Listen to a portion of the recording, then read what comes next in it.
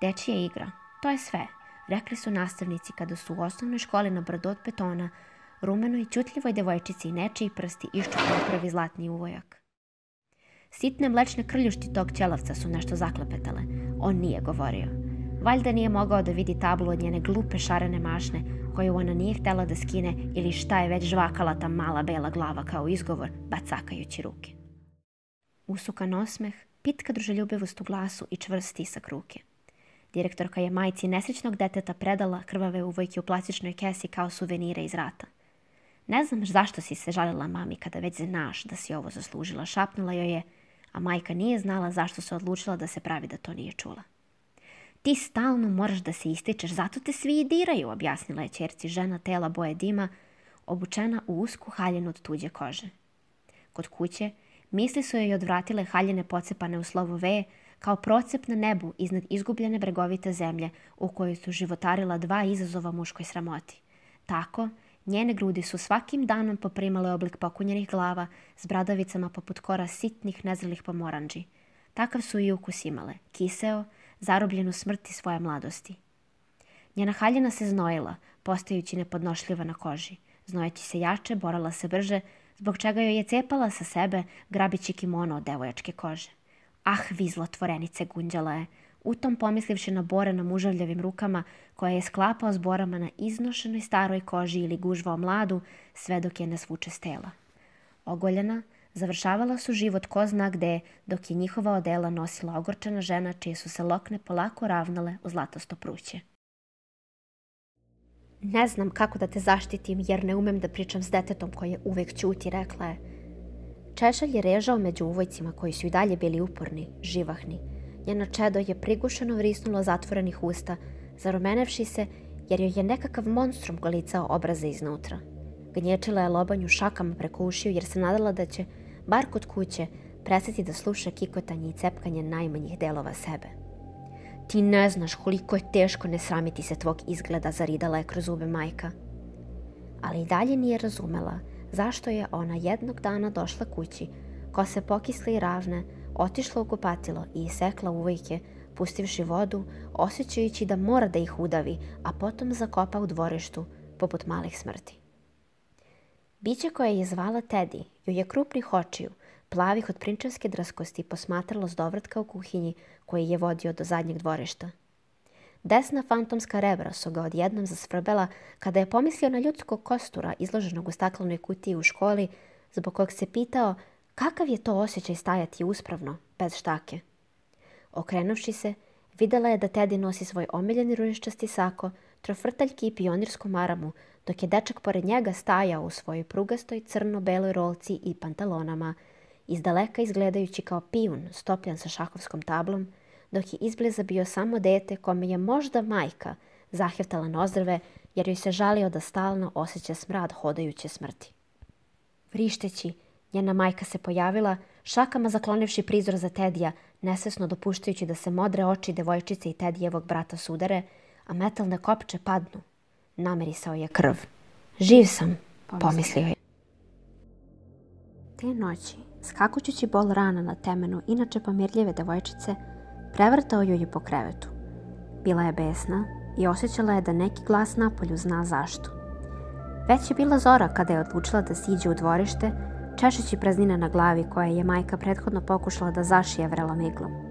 Mislila je samo o deci tela ukočenog u uspravnom položaju, čija je koža na ćelavim glavama glatka i bez jaja poput površine plastične kugle. Iz nje ništa ne može da raste, a ispod sebe krije prehlađen trulež koji im curi iz nozdrava u parčićima što su ih ostavljali u njenoj kosi. Setevši se hladnog, mokrog dodira, osjetila je želju da iščupa konce koji su je zapinjali pod noktima dok se češala kada je zemlja rodila uvojke, krvareći. Pusti život neka curi. Žedni smo, kukali su oni.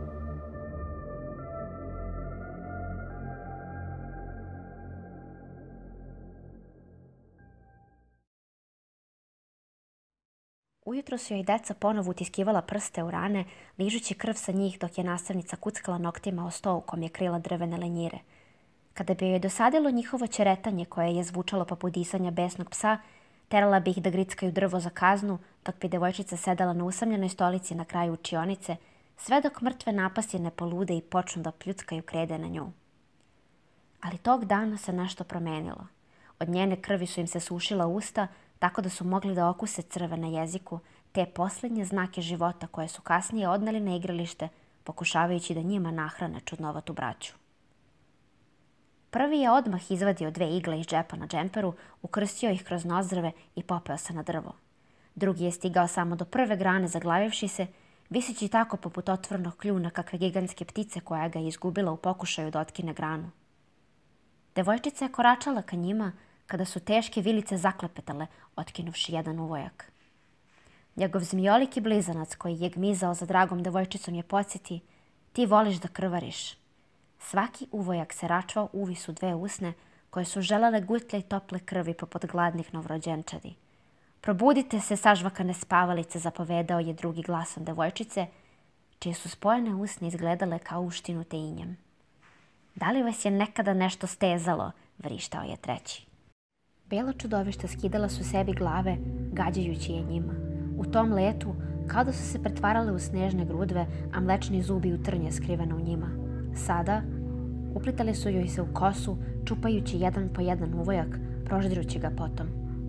Ubrzo, glave su padale shvativši da njena kosa ima ukus trave koja je u njihovom prisustvu skoro potpuno istrulila.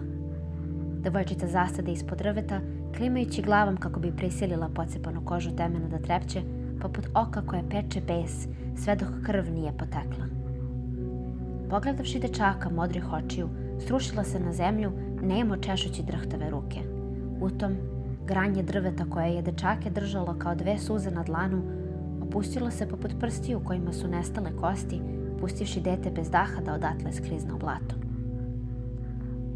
Kapi krvi uvaljene u perut i blato su se borile da dođu do uvojaka koji su, poput ukovrđanih vena, čekali da krv njihovog iscepanog sveta dopre do njih. Halapljivo progutali su zagađene ugruške, gojeći se toliko da su odlučili prepolovimo se. Tako tanušnih bilo ih je više, te su hrabro pohitali ka gravljivim napastima. Jedno ih je jurilo, ne bi li ih zgazilo, kada su mu se obmotali oko tela, srušivši ga na zemlju.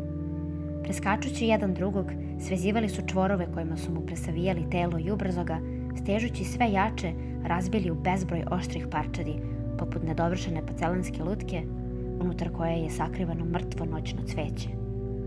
Teddy ga prepozna. To je bio kenjkavac oko kog je cveće preživljavalo, pa ga je bravo i gutao kako ga ostali ne bi odbacili kao loptu još uvek svežeg mesa. Obrok s devojčicinog temena puzao je kao uvojcima. Ubrzo su se gojili i raznožavali kao njihova braća, kolicujući grla nesitih čudovišta dok ih ne ispljunu. Imitirajući žvale, razlačili su se oko vilica, provlačeći se kroz meso kružnim ubodima da bi im naglo zaklopili čeljusti unutar glave. Slomili su ih. Ples Tedijevih desnih organa je prestao kada su mu se našli na dnu trbuha, povukavši ga na dole. Pao je s grane u blato, vrišteći kao razmaženi kraljević, zbog čega su ga zasvrbala fantomska rebra, te je poželeo da podigne štaku i udari čudovište koje je trčalo ka njemu. Ipak, odlučilo je da zastane kod njegovog brata. Kako se približavalo, njegov smrad je izgurao igle iz mesa na dečakovom nosu kada je on udahnuo smrt. Tada mogao je da vidi samo crne obrise nalik svicima, a kroz njih drvo koje mu se činilo skamenjenim poput krave koja se kao malom srušila na njega izbivšim u vazduh. Ista nevidljiva težina mu je pocepala šaove na grudima, otkrivši pluća koja su pomodrila poput njegovih očiju, uvlačeći zadah zubotog monstruma koji je slabio pred mirisom sveže krvi. Ona se, samo za njega, pretvarala u reku gde bi se umio. Teddy je postajao očajan. Pokušavao je da ustane bez štake koja je bila predaleko, padajući iznova. Znao je da će čudovište doći da mu otmu i leva rebra kada bi upao u donji deo svog tela. Uvojci ga prevrnuša na stomak. Probijajući mu kožu, vezivali su se za kosti u pokušaju da oforme novi kavez od rebara – Uskoro, ustao je kao parazit tuđeg tela, ne bi li odbranio brata kome su uvojci brzopleto zatvarali rupu na grudima, poput brižnih majčinskih prstiju koji detetu zatvaraju raskopčanu jaknu. Teddy potrča ka bratu, zgrabivši štaku kojom je polomio preostalih šest lebdećih nogu i skinuo četiri plastične glave.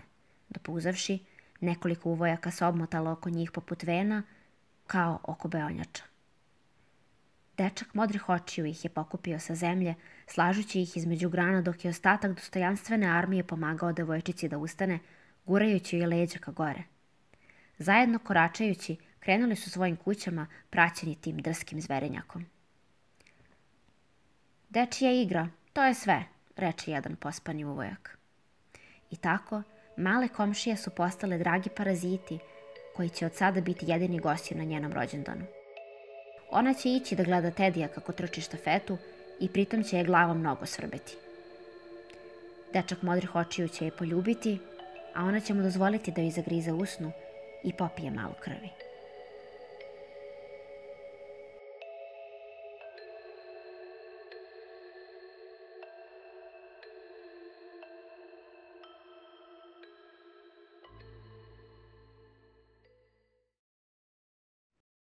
Vrativši se kući, devojčica je otišla da spava, dok su uvojci pošli da se ušuškaju u zemlju gde su bili zakopani.